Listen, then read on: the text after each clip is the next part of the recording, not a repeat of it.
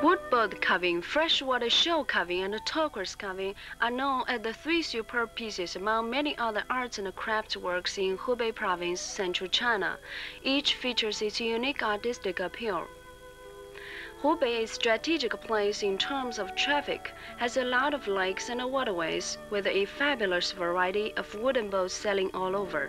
This provides unusual condition for the creation and development of the art of wood boat carving. The boat carvings are made of hardened fine cypress, boxwood, or mahogany. These foot-long boats are strictly carved in proportion to the real ones, and each part fits perfectly in various types of turners.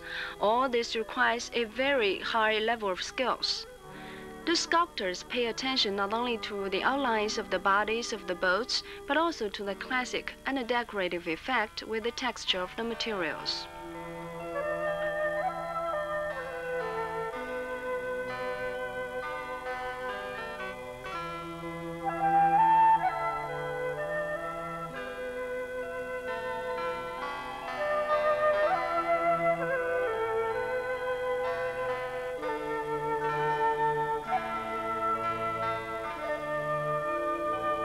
The carved boats may be classified into three categories river-going, sea-going, and classical.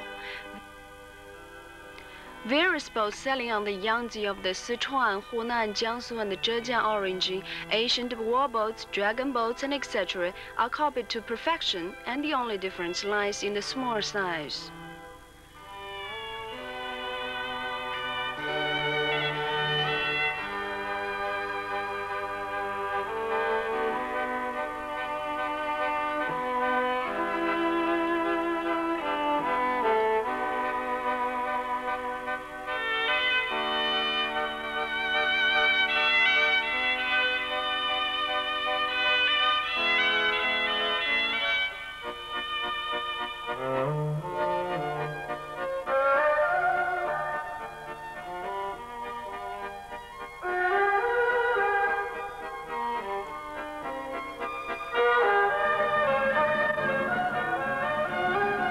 However, the stereotyped freshwater shell carvings are recently products in this trade.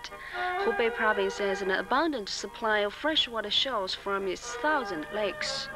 Unlike the alluring seashells with bright luster and fantastic shapes, the freshwater shells are transparent, smooth, and shiny. They are ideal materials for the artists to express their imaginations with. The shell carving the Yellow Crane's Returning is a masterpiece. It has brought various craft forms into one.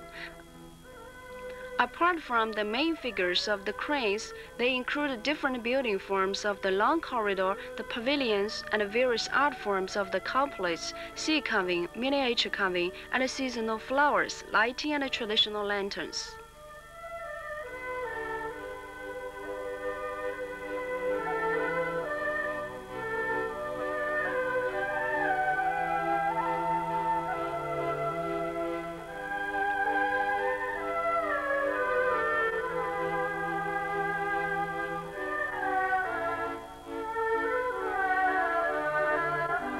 Turquoise is a special product in Hubei province. It is precious for its charming color, tender luster, and fine quality. It enjoys fame in the history of arts and crafts. The sword of a king of more than 2,000 years ago was decorated with it. The modern turquoise carvings are well known for their figurines.